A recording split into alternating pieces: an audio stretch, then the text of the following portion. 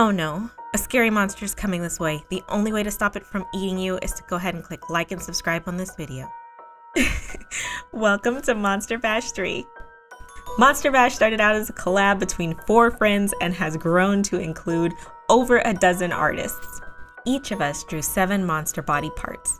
We combined all of our drawings and then we each randomly chose seven new cards. The only rule for Monster Bash was that you had to create a monster using your seven cards, but you can interpret them any way that you want.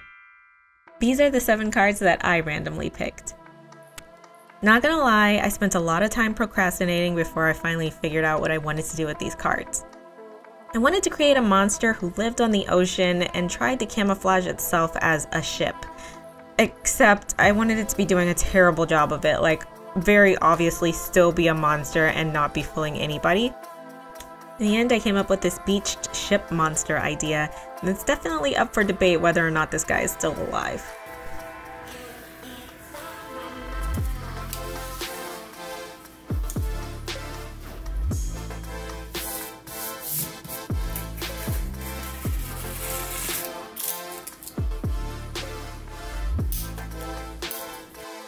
I got an armadillo body card, arms and legs not included.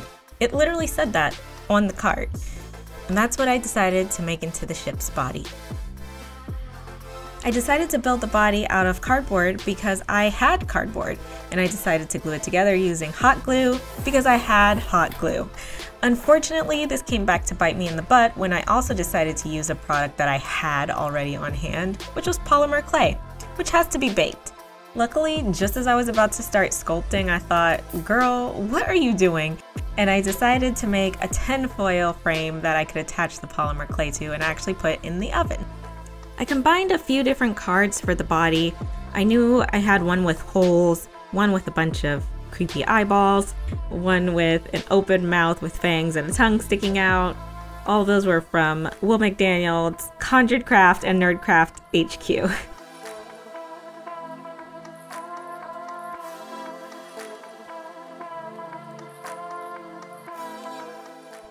This clay that I'm using is Sculpey Firm Polymer Clay, and the tools are a toothpick and whatever else I could find around my little crafting area. Alright, you know what time it is. It's your boy Allball here for his cameo. He knows that he's really the star of this show and he's not gonna let anybody forget it. So, while I was trying to do as much work as possible, as quickly as possible to get this video up, he decided he was gonna steal all of the parts and your hearts and knock all of them onto the floor. Let's leave a little heart down in the comments, guys, for All Ball. I really couldn't build these things without him.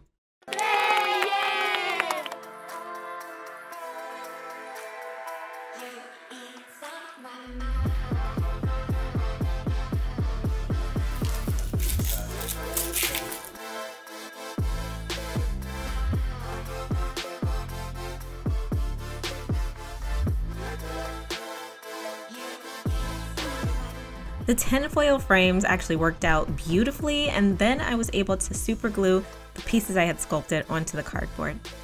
The next thing I wanted to do was make the deck of the ship. I used super super thin balsa wood for this.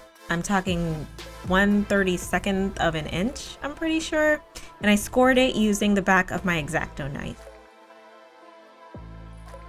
I've started saving every interesting piece of plastic I find in a junk drawer for crafting on these projects and most of the parts of this ship that you're gonna see are from that drawer. Ship masts are the long wooden sticks that go down the center of a ship and usually have the sails attached. Well today, we're gonna use legs.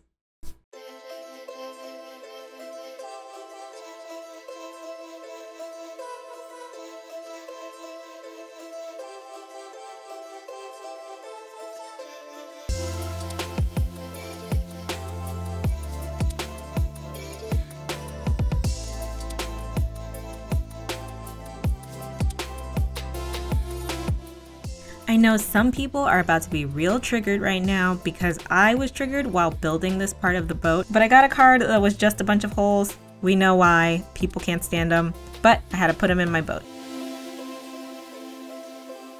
I glued on the monster's tongue and added on some tiny cannons.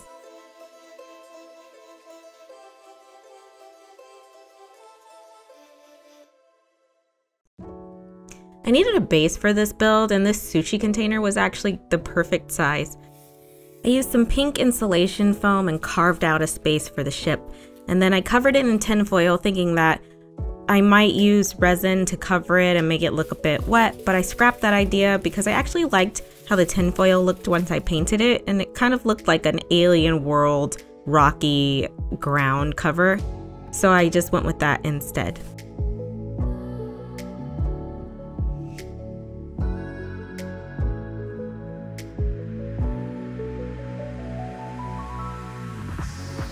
There's just nothing like seeing your piece come together after you prime it.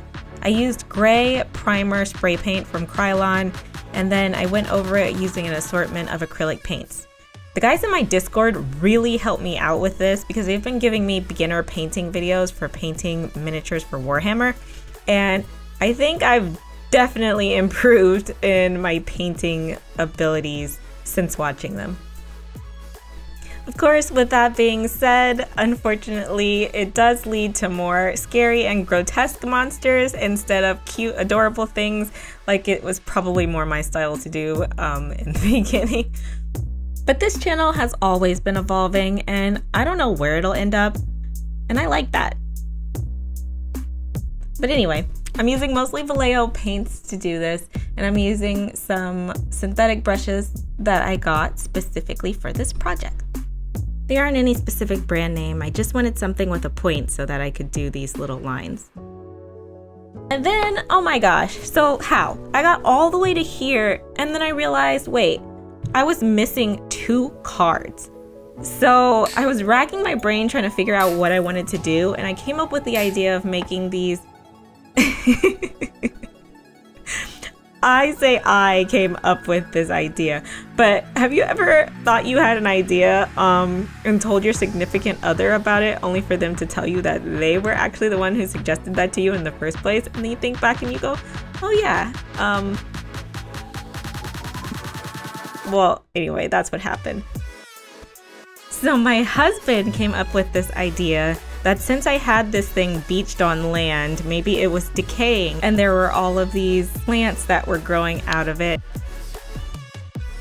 I had a card that could have been interpreted a million different ways. Uh, at first, I thought it kind of looked like cheese or the night sky, but in the end, I made it the little fungus pouches.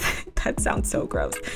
The little fungus pouches that these these spore flowers are growing out of. and I painted them a neutral color because I was going for a pretty washed out, neutral, decaying vibe with the color scheme for this entire build. The only thing I really did to the tinfoil base that I had spray painted was go over it with some white um, dry brushing and I added a, some white highlights here and there throughout the piece just to give it a little something something.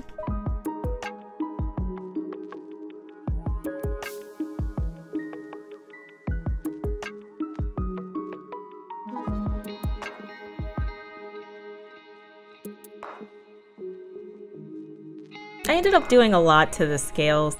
Um, first I used this wash that my neighbor had gifted me and that worked fairly well. I used that on the entire boat, but then I wanted to make it a little bit darker so I went in and filled in some of the cracks and then I got carried away and started trying to do like edge highlighting on different parts of it. And overall, I still think that made it pop out more. So I'm glad that I did it, but I definitely need to work on that technique.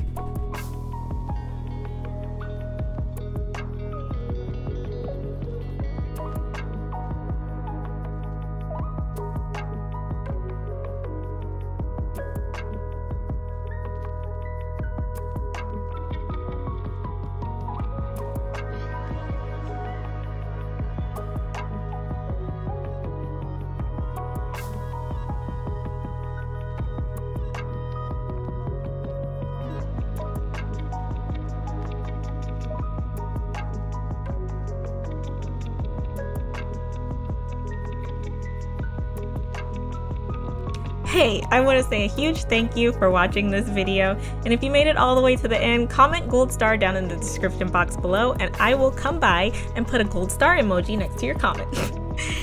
Let's see how many we get. I'll post about it in my next video. Don't forget to watch the other people's builds in this collaboration. They're all going to be linked down in the description box below, and they're going to be a part of this playlist that my video is in. I flippin' love you guys, and I will see you next time.